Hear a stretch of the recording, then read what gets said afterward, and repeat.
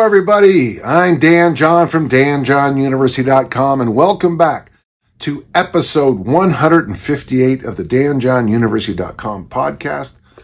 Uh, welcome back and hello. Uh, the questions are very simple. In a couple of the questions today, the person answers their own question, which really simplifies my life. So, uh, this is episode 158. To be part of this great voyage, uh, just uh, email me at podcast at danjohnuniversity.com. We'll do our best to answer each and every question. Uh, as always, it's an honor to be here. And thanks for trusting me. Um, let's get started, shall we? All right. So Jake, Jake from State Farm asks us, in strength training life, what is the value of wax on, wax off? Here is the scenario. Student approaches the master and wants to learn the secret of the way. I'm going to tell you Coach Maughan's secret. First time I ever got a chance to sit down with him at, in his office, I said, Coach, you know, what's the secret of throwing far? And he said, lift weights three days a week, throw the discus four days a week for the next eight years. Everybody misses that last part, eight years. Everybody misses the fact that he was also talking to a state champion and an All American and um, an MVP and conference champion. I'd won the I'd won the conference, uh, the conferences I were in four straight years, but he still expected me to put eight more years in after that, which you know brings you up to about 15, 16 years. That's a long time to become a master. Teacher provides some seemingly mundane, simple practice, says Jake, that student must embrace, sometimes begrudgingly, and repeat ad nauseum. After some time, a level of mastery occurs, and then the magic happens. Well, that's true. Is this app, is this applicable to easy strength or other programs and modalities you teach? I think the answer is yes. Thank you, Jake. The answer is yes. Okay, I'll give you more. Sometimes saying less is more. I'd like to hear you wax on this a bit. What, Jake? You know, that's kind of a clever, clever series of questions there. I enjoyed that. So, yeah, I mean, the hardest thing about, you know, elite performance is that it's mastering the basics. I mean, if, if you're sitting next to the greatest jazz musician in the world on a plane and you say, what's the secret? They're going to tell you, you know, you got to know your notes. You know, you got to know where to put your finger. You got to know where to, you know, do that with your lips at this time versus that time. Yeah, it's it's always simple. Um, I'm sure if you talk to the greatest athletes in the world in any sport, I mean, I, I have great uh, respect for Tom Brady, the uh, quarterback now at the Tampa Bay Buccaneers, and maybe his last season, I don't know, but I'm sure if you asked him his secret, he would say, you know, I spend a lot more time, and there'll be some, it'll be some phrase that every high school coach in America will tell their starting quarterback. And we all know it, but it's the doing. And that's a life lesson. I mean, uh, I can hear my grandson's uh, Leo. He's upstairs. He's angry about uh, something. And, you know, when Leo comes around and asks me the secrets of life, uh, it's going to be s- simple stuff. Um, you know, uh, I wrote in 1996, you know, show up, don't quit, ask questions. I found out later on on the internet someone uh, claims that I stole that from them. Um, in 1996, I don't think that person was on the internet. I don't think they're old enough to uh, type yet. Uh, but it is, you know, the secret to success in my life is show up, don't quit. And then, of course, the third thing is ask questions, you know. Make sure you know what you're doing. You'll notice my conversation with Coach Maughan started with me asking a question. Yeah, it can be that simple. It always, it's always that simple. Good question. Thank you. We have a question from Will. Well, you know, if there's a will, there's a way. All right. In recent years, sandbag throws have become common in strongman competitions. Okay. When I think about off-season training to get better at the bags, I've wondered about working in something like a hang power snatch. My thought is if I can throw 200 pounds over my head, a 40 pound bag should feel pretty light. Yeah, well, I hope if you're a strong man, you snatch more than 200, but oh, sorry. I guess people get angry because I say sentences like that, but I really do mean it sometimes. Um, I know that throwers and Highland Games athletes use Olympic lifting. What do you think about strongman athletes using Olympic lifting? Well, you know, uh, I've written a lot about my interactions with strongman competitors. Um, it doesn't happen anymore, but from about 1999 to about 2006, seven, uh, when strongman was going from being uh, just something you'd see on TV for one event a year to something a little bit more common, a lot of people asked my advice. Um, and really, a lot of the stuff, I mean, I mean, my biggest advice is, you know, do the Olympic lifts, clean and press, snatch, clean and jerk, do the power lifts, bench, squat, deadlift, and then, you know, figure out other things you might need, like farmer walks and loaded carries. Uh, I'm a big fan of the yoke carry for sports other than strongman. I think, I think it's one of those, um, you know, when Artie wrote his book on strongman training, you know, I looked at that and I thought, you know, done correctly, this would be great for American football. But that was the problem. The people who read the book and applied it, and there's a school close to me that just about destroyed every athlete they had, they just ran with that and you know, just beat the athletes into the ground. And I mean, if you're an American football player, it'd be great to have a big yoke carry and a big farmer walk and a big snatch and a big clean and jerk. But uh, if that's all you do, you're going to lose all those other qualities about, you know, change of direction, backpedaling. Uh, and of course, by far, what I think the most important is thing, especially as a defensive player, recognizing what's about to happen long before it happens. Um, not long ago, I, I was talking to somebody who saw me play a high school football game. And they said it was weird watching me play one time because when the ball was snapped, it seemed like I already knew what was going on. Well, because I listened to what the coaches were saying in the scouting reports, and then I just used my spider senses to figure if a guy if a guy leaps out of the huddle and looks really excited, good chance he's getting the ball, and that's usually pretty true. Um, you know, over at Dan John University, I have some basic Olympic lifting programs, um, some simple stuff. You know, Dave Turner has that great beginners program. It's probably too hard for you, to be frank. I mean, I mean, I think it'd be a great off-season program. It's uh, clean and press, five sets of three, uh, snatch, uh, eight doubles, clean and jerk, eight singles, and then he changed it. I had to do it the hard way, but to five sets of two in the front squat. But here's the deal. You have to do it all in one hour. Um, a couple things that might be good about this for you is that if you start the clean and press on day one, you go, so we go press, snatch, jerk, squat.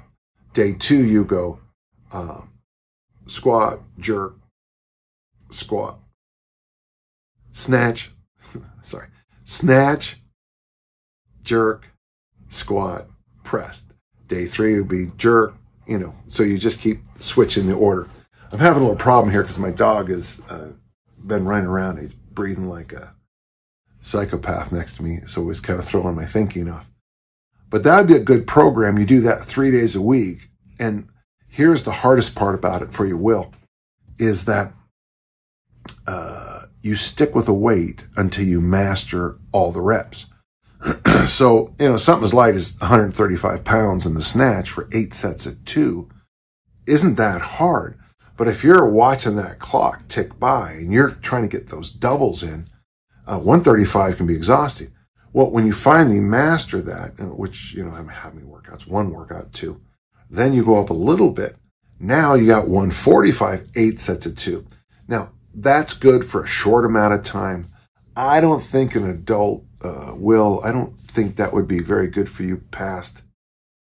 Uh, you know, if you did it, if you read, if you read the chapter I have on Dave in uh, uh, 40 years with a whistle, if you did some of the stuff he he recommends every day, you know, where you're, he also did, we did the uh, all that stretching, the stick work, uh, those four lifts, uh, we cleaned up, and the goal was get it done in an hour, which was exhausting. Uh, you really can get ahead uh, you, you really get a great workout one hour. And I got to tell you, it'll feel strong, Manny. So check uh, Dan John University for some of that. Check my book, 40 Years with the Whistle. But any Olympic lifting program is going to be helpful for you. And now, the now, finally, the last thing. I hope you're throwing med balls. I hope you're throwing sandbags uh, to to really improve the throwing events. You got to throw. You got to throw. Throwers throw, jumpers jump, sprinters sprint. Okay. Don't let that fall out in your off-season program. You know, if you did Dave's program three days a week, which would be tough, and you said one day a week, I'm going to throw sandbags and medicine balls and just come up with a million variations. And on the other day of the week, uh, maybe practice one of your skills. You know, it's not going to be a full off-season training program, but you know, pick one of the events and practice the event. And if you don't have all the equipment, fine, you know, make up something close enough and just practice. Okay. Thank you. Uh, it was a good question. Appreciate it. Well, we have a question from Kyle. Now, this is interesting. My name is Kyle, and I'm a 29 year old triathlete and rower for Montreal. Well, good. It should be in, your question should be in French, but we'll allow this. I have been following along uh, in the background for several years now and have decided to put forth a double question about some off-season hypertrophy work. All right. My question is regarding the the guns and buns routine, which we've now changed to ass, abs, and arms, like that, just as a joke. What does it consist of? Is it doable with the uh, armor building complex on alternating days? Well, sure. Uh, basically, it's you take uh, the hip thrust extremely seriously. You take the clamshell seriously, the goblet squat, overhead squat seriously, uh, and deficit deadlift seriously. And you try to go back to back to back. My favorite one, we'll just give you an example. Uh, this one I did the other day, so it's fresh in my head. Uh, I do bands on my hip thrust. So uh, double bands to failure, which was about 25 reps drop a band off, you keep going. I don't know how many reps it was because I was on fire. Then finally drop that last, that second band off. So two bands, one band, no bands, and you just burn it out. Stand up, do a set of five to 10 goblet squats, walk over to some very lightweight, uh, you know, like a, I mean, a 36 kilo kettlebell, 40 maybe, and do like a set of really careful deficit deadlifts. And then do an ab wheel, just a set of five or so. Rest. See, so the set of five in the abs is going to be, because to make your butt work harder, you need to really engage the ab wall. Uh, and it seems to help carry on the next one. And you repeat that just twice. So that be the, that's my favorite, uh, that's my favorite buns workout. And then for guns, we just do curls and tricep extensions or whatever variations you have. Uh, it's mostly, I went, it's not a joke. I, yeah, okay. When I do it, it is. Uh, but I never trained my arms uh, my entire career because, you know, I'm an Olympic lifter, thrower, and, you know, I notice some of these new guys, you know, they'll throw the discus and they'll go like this. And the funny thing is, they're not as good as we were. So maybe a little bit less bodybuilding and a little bit more actual throwing. But it's a good program. It, it's a, yeah, I would say there's some value to it. And it, you're going to really be working those goblet squats a lot, but yeah, you'll survive. Okay. Uh, my other question is about the DeLorme. Would the DeLorme program be all six squat, hinge, horizontal push and pull, vertical push and pull on the same day, three days a week? Yeah. I mean, you, you probably want to do, add something like the hanging leg, uh, the hanging bent knee leg raise to that to get you up to seven exercises. Uh, I have to double check my math on that. That's true. I did. It's like I looked at and make sure I was right. Uh, but yeah, yeah, you could, yeah. And there, I, I give you a number of options in my book, uh, books on how to do it. Uh, you can do the one set of 10 with 50%, uh, followed by one set of five or 10 with 70 or 75%. DeLorme kept changing those numbers. And the last set with what you're considering 100% is you go as many as you can. Bryan Mann, I think he's down in Miami now. He came up with a, plan. Whereas if you do like five or six reps, you drop load next time because it's too heavy. If it's between like eight and 12 reps, you're fine. if you get like, I don't know, let's say 13 to 15, it's too light. You know, you add 10 pounds. Uh, if it's, I don't know, more than that, you add 20 and he had a little formula. It worked out really quite nicely. Yeah. So, um, if, if you can do it, yeah. I mean, or you can do the three sets of eight like we do here. So, you know, front squat, three sets of eight, uh, thick bar deadlift, three sets of eight, uh, bench, three sets of eight, row, three sets of eight. Uh, this is a lot of, this is a lot of upper body work, but, uh, military press, three sets of eight, pull up, three sets of eight, and then the hanging, uh, bent knee leg raises. That'd be a pretty good program. How long can you do it? Uh, it you ask three days a week, but uh, I don't know many people who could do that far more than six weeks. Six weeks will be about the sweet spot. I'd recommend more like I could see try three weeks and then take a deload. You know, maybe even take the week off and then give me three more weeks. So three off three. But I, it's I don't personally I've never found it to be sustainable, but it's a great program for a month to a month and a half. Always remember that some programs you can do for a year or two, some you can do a month or two, and you got to make sure you keep that balance in your brain. Uh, good question. Thank you. Uh, we got a question from Conley. Do you notice a link between a strong squat and running, jumping, hurdling performance? Before we even get to the rest of your question, it's one of those classic depends questions. I mean, if you got somebody who was born to hinge, which probably is going to be a better sprinter. To me, sprinting is a hinge. It's a pound. It's a, you beat the drum on the ground. If you uh, most squatters, um, most squatters I've ever dealt, dealt with, like these Olympic lifters I used to know as a kid, were really good like at vertical jump. You know, we'd have these little vertical jump contests. They're really good at that. And in certain sprints, they were really good at too. But, um, they were really good like out of the blocks. And then things kind of got a little wavy after that. So uh, I think it's a lot depends on how you're born. If you're a born squatter, squatting will probably help your sprints. If you're a born hinger, hinging will probably help your sprints. If you know, uh, I don't think you're going to find a lot of really, really, really short sprinters. I mean, you certainly will find some, but I've noticed, you know, through through my career, is that sprinters tend to be about from this tall to about that tall. They're in that kind of window of height.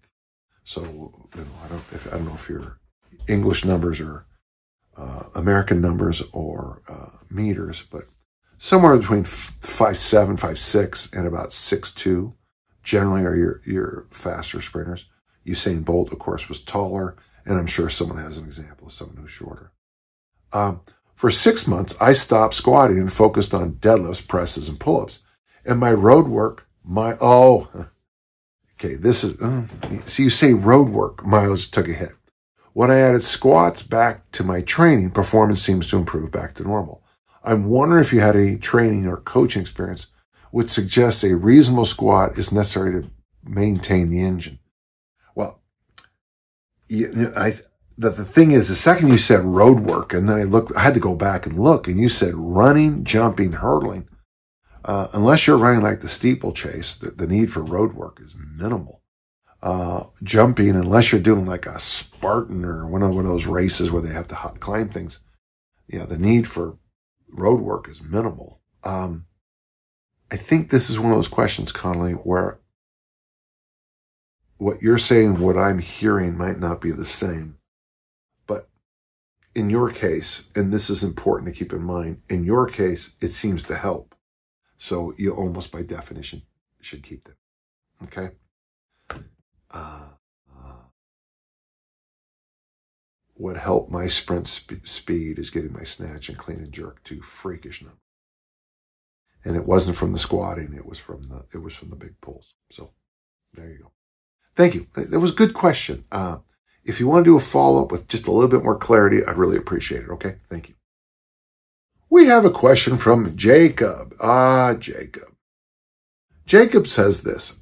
I, now, I tried my first heavy hands walk one mile with toe shoes, Vibram five fingers, of course, five pound dumbbells and a 30 pound vest.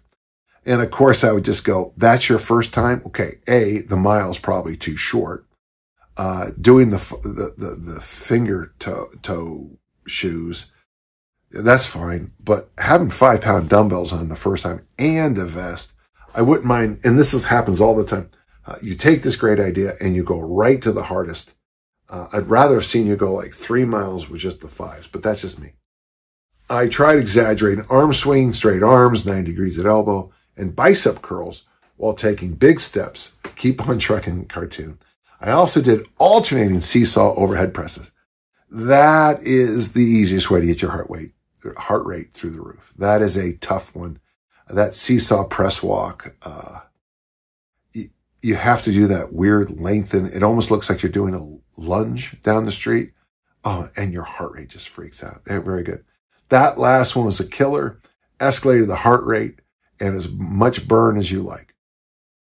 Um, when I was getting around 12 to 15 minutes of walk time, my shoulders were really starting to get tight.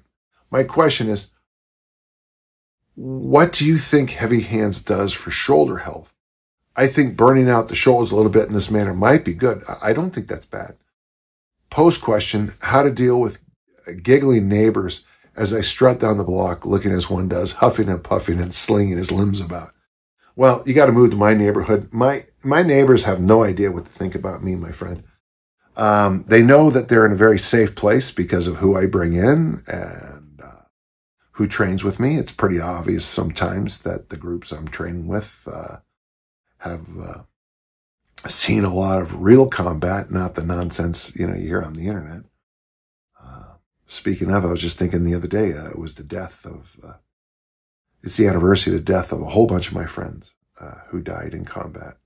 Uh, terrible tragedy, and they trained with me, and I and I think to myself, it's something I don't want to talk.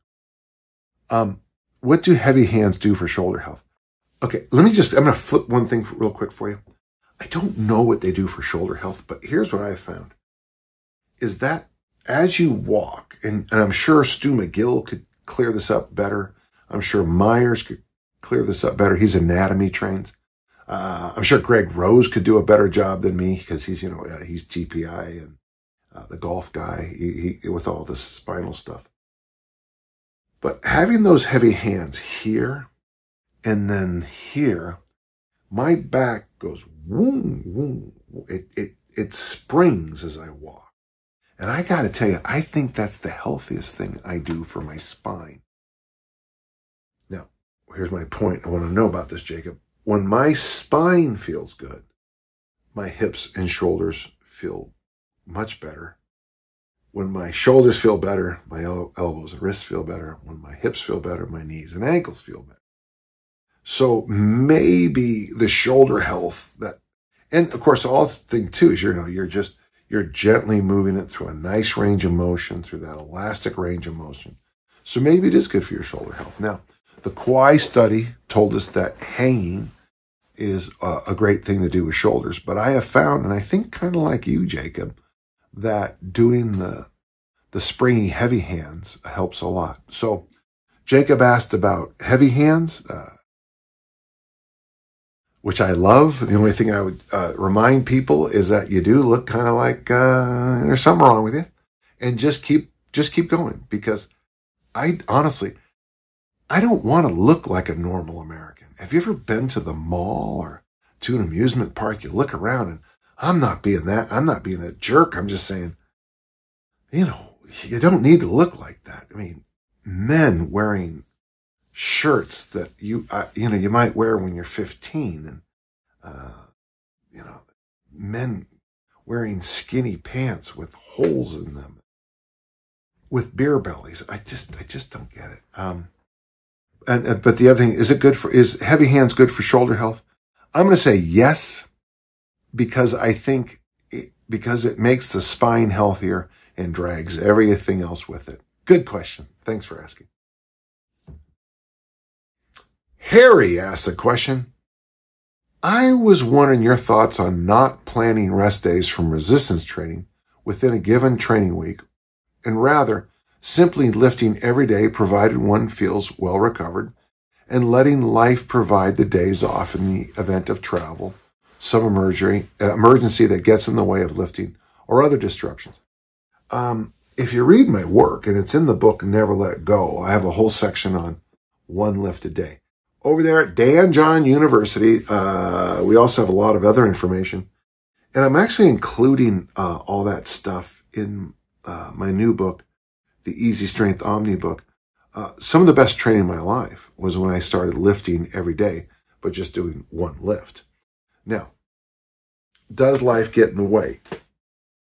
The knock I have on this, because I've tried this, Harry, if you don't mind, is what happens is if you circle Monday, Wednesday, Friday, uh, Monday, Wednesday, Saturday, Monday, Wednesday, Saturday, Saturday at 7 a.m., uh, 7 a.m., you and all your friends meet in a park and you have a intentional community workshop. You do strongman events. You play catch with kettlebells. You throw med balls around. Monday and Wednesday, you, you Olympic lift you, you know, you do some front squats and you do some farmer walks. People start to get used to the rhythm of what you're trying to do. So people get used. So your family gets used to you being gone at those times. Uh, you start to mentally schedule things in. I found, and I've, I've done something similar to what you're doing because of life. It was in the 90s and I remember it well. I try to get what I could when I could. Uh, not surprisingly, uh, Harry, this is also when I came up with Easy Strength uh, later. Uh, the, uh, I would say it would be the early editions. Um, if you look at my journals before I met Pavel, you'll see I was training easy strength sometimes because I had no other options. Um, and I was doing these hyper quick workouts with basic exercises. Uh, with I had almost no variations in load, so I had to do I had to outthink the bar. Um, so I guess I, I hate to have an answer where I muddle like I am now. But I, I think what you're saying is a good idea. But keep trying to get yourself back on schedule as best you can. So make sure you're hearing both sides of this. I agree with what you said, but do your best to get yourself on a schedule. And the only reason I'm saying a schedule is that you, you live in communities, your family, your business, your neighbors, your friends, and uh, there, a rhythm begins to build up. And I think it's imperative, it's important uh, that people go start to even think, well, you know, uh, Harry can't get drunk on Friday night because Harry has out on Saturday. And I think it's a real boon to you long term. I hope that helped. Thank you. So we had Harry, and now we have Larry. I'm 40 years old, started working out with a personal trainer about seven weeks ago. so you ask me a question, you've got a personal trainer. I like that. My goal is to lose weight without cutting off one of my limbs. There you go. I have been training four days a week for the last seven uh, weeks. When I look back to week one, I am able to lift heavier weight, do more reps, of course, or both on everything in the program. While I know I am getting stronger, I have only lost about two pounds and I don't see any noticeable difference in body comp when I look in the mirror. Well, yeah, I mean, because fat loss happens in the kitchen. um, okay. All I can tell you is my experience with something we call uh, easy strength for fat loss. Uh, you know, the reason I like intermittent fasting is when I started doing intermittent fasting, uh, the numbers on the scale went down.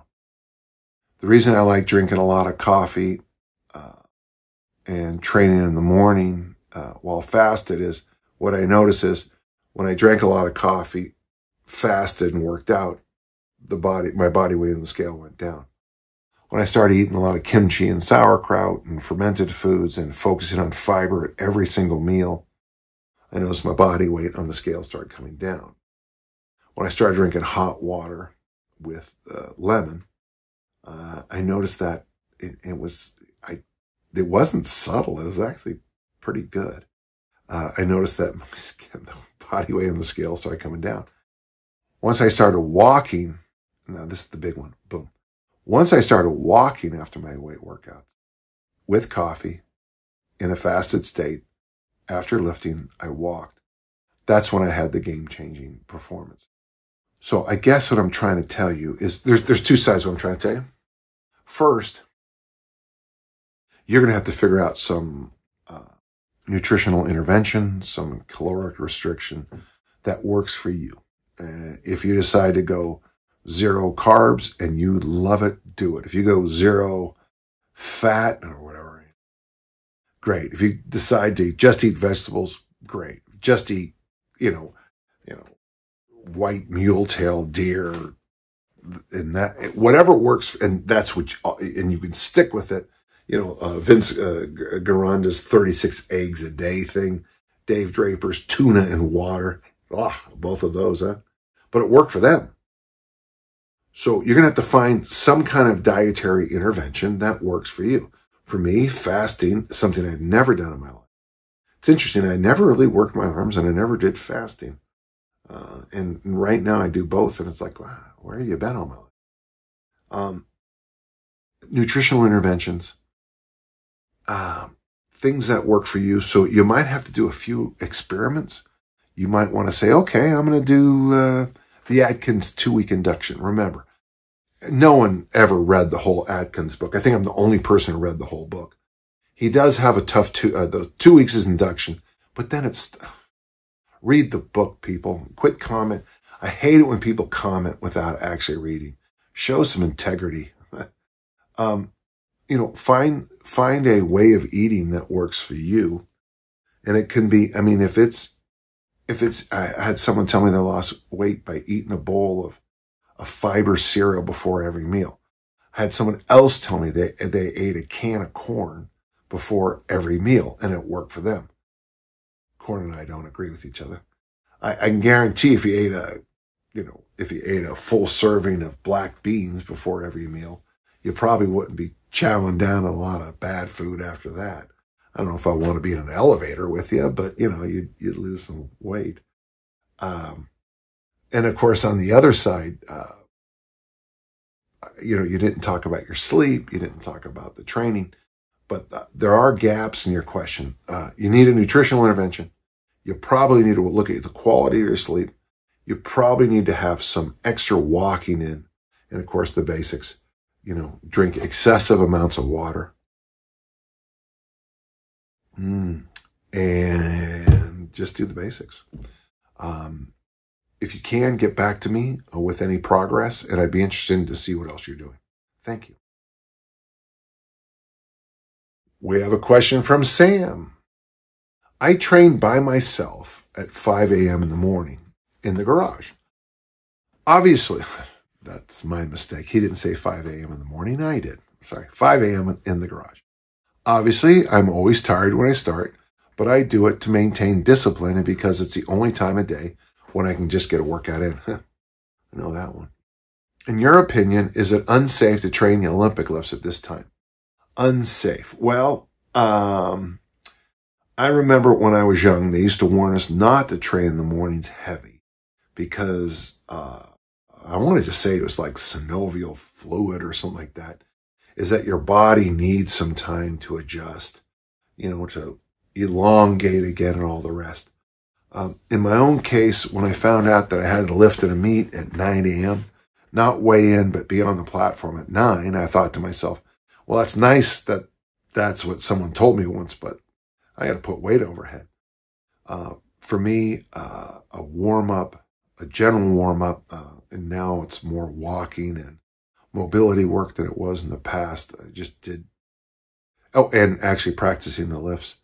That might be enough for you to do it. So, so there's two sides. Eh, the, the tradition is be careful, but in truth, we have more tools now that you can probably Olympic lift. But here's the thing, you know, um, uh, Sam, if it's, I mean, if it's just, if it's just busting you up, don't do it. Um, I could easily just, uh, he could just as easily use kettlebells for my hinge movements, but the Olympic lifts are too damn fun not to do so. Well, you know, I, I am a master of the garage gym training. I've been doing it my whole life. Uh, over there at the Dan John University, we have the workout generator. uh, it might be worth, this is just an idea. This is an untested idea. So this is the first time I ever said this, but why don't you find a system? you didn't say how many days a week you work out. Let's say five. Let's just say five. Try to find, when you go to the generator, plug in five and then plug in 30 minute workouts. At the end of those 30 minute workouts, now that you've done push pull hinge squat loaded carry. You've done mobility work. You've done a warm up. You've done this. You've done that. Then Olympic lift. Uh, let's try that a few times and let's see how that goes. And if you can, get back to me. Okay. Thank you. We got a question from Bart. I'm a 30 year old special operations guy. After first reading your work about eight years ago, I decided to learn the Olympic lifts and have incorporated them in my training since then. I've been getting a hankering to try easy strength for Olympic lifting, but I have some issues with the clean and jerk. Whenever I do full squat clean, split jerks, and power jerks, I start to develop uh, patella tendonitis. And that is a tough one. Uh, I can almost bet, Bart, bet, Bart, that you had patella tendonitis before you got the, to start doing the Olympic lifts uh, and uh, you special forces guys with your rucking and you know going fast down down hills, rucking, uh, some of the some of the nonsense that you have to do, uh, that just beats the patella tendon up. And then of course we're not going to. Um, I got patella tendonitis in 1976, and when I rub the patella now, I can still feel the calcium deposits in there. It doesn't go away. So, okay. Um, he says, I don't think this is a technical issue as I've had some pretty experienced weightlifters evaluate my form and they say it's fine. High praise for you, Bart. Hey, it's fine. That's, yeah. So, uh, daddy, I met the man, the man of my dreams. What's he like? Oh, he's just fine. Uh, my knees already get beat up by all the running and rucking my job requires. And I think the squat, clean, and jerks uh, just put them over the edge. Yeah, exactly. Yeah. Would it be acceptable to replace the clean and jerk with a power clean and push press? Oh, yeah, absolutely. Uh, you know, we had this conversation no, not that long ago. How, you know, Pizza Steve, the great shot putter friend of mine, yeah, he threw really full. And uh, he, he said, yeah, all I did was snatch pulls and snatch cleans. I, I didn't want to bang up my wrists uh, flipping the bar over. And I went, that's such. And then I found midway through my career that the power snatch and the power clean seemed to help me uh, stay fresh and alive for throwing. The mistake I always have, and, and I, and I, I'm kind of reaching out to you, Bart, because of your career. Um,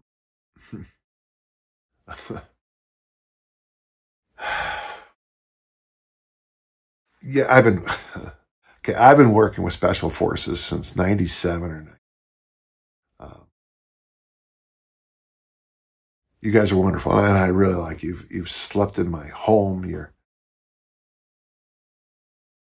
a bunch of you came to my daughter's weddings, which mean the world to me. I've attended some memorial services for some of you.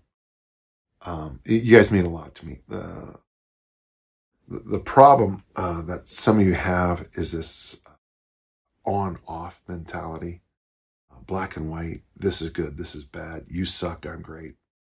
And one of the things I just want to caution you a little bit, this is kind of from the heart, is doing the power clean and push jerk is going to be great. Do that for a bit, walk away from it, try something else. Uh, try your best not to say this is good and this is bad as best you can. I always joke in my in my writing about this isn't moral theology; it's just lifting weights. Wow, I, I hope I hope that helped. I, I, thought it was a good uh, question, and, and, I'm always honored to help. Well, listen, there you go. Uh, there's our podcast. I'm Dan John. This was podcast. Uh, Who can forget? Uh, 158. And if you have questions, as always, you email them to us at podcast at danjohnuniversity.com. I'll do my best to answer each and every one.